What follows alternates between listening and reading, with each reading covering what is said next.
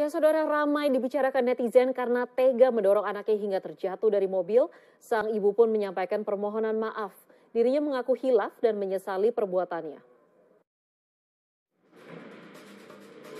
Sejak kemarin, dunia maya digemparkan dengan beredarnya sebuah video kekerasan pada anak. Dalam video viral tersebut, terlihat seorang ibu tega mendorong anaknya keluar dari mobil hingga terjatuh.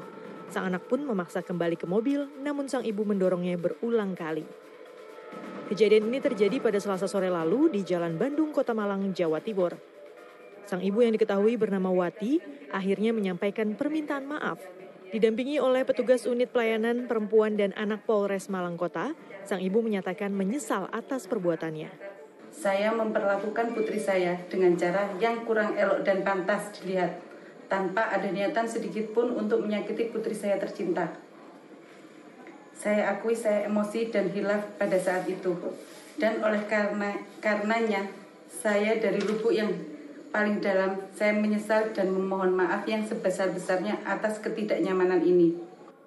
Sementara itu KPAI menyayangkan tindakan kekerasan dalam video viral tersebut karena tindakan kekerasan apalagi dilakukan di depan umum bisa memberikan dampak negatif pada mental sang anak bagaimanapun anak masih dalam uh, lindungan orang tua.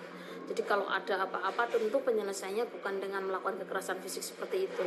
Dan tentu itu tidak hanya kekerasan fisik tapi juga ada kekerasan psikologis. Karena anak sampai dilempar keluar uh, mengalami kekerasan yang berlipat uh, sampai kemudian akhirnya ditarik lagi. KPAI menghimbau kepada para orang tua agar senantiasa menyelesaikan masalah dengan anak menggunakan komunikasi persuasif tanpa tindakan kekerasan. Tim Liputan 6 melaporkan.